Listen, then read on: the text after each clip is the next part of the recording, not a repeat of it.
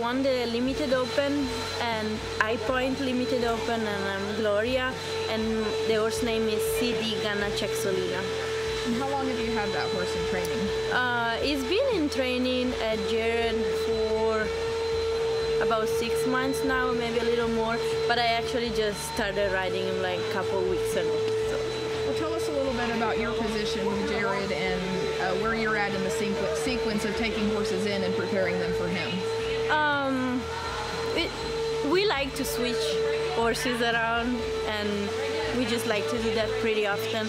And uh, he just gave it to me a couple weeks ago and see if I liked it, and now it will work out. And I showed him the first time in the limited open Monday, I think, and this one was the second time, and he's been pretty good for me. Awesome. Tell us about the run. Um, he was very good everywhere. We still need to know each other a little better, but there is nothing that I can complain about today. He was with me and he was being a good boy. Uh, where do you think you'll show him next? I have no idea about that. We'll we'll make a plan soon. I don't know. We'll see. Absolutely. Who do you want to thank for helping you get here?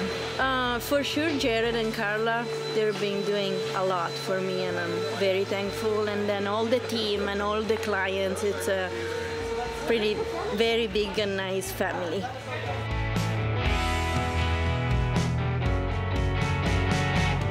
Hi, hi. I'm Frank Costantini. I'm here this afternoon with Amanda Lester and Chloe Lawrence. Amanda, you have some questions you'd like to ask Chloe and I as far as what we do with Markel? I sure do, Frank. So, what all does Markel cover? We cover farms and ranches, uh, equine mortality, commercial liability, and also autos.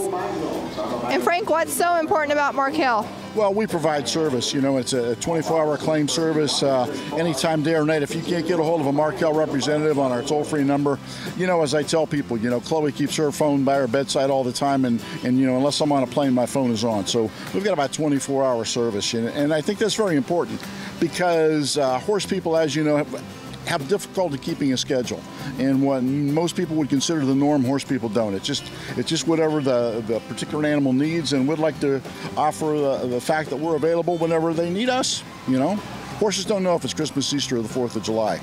You know, every day is the same.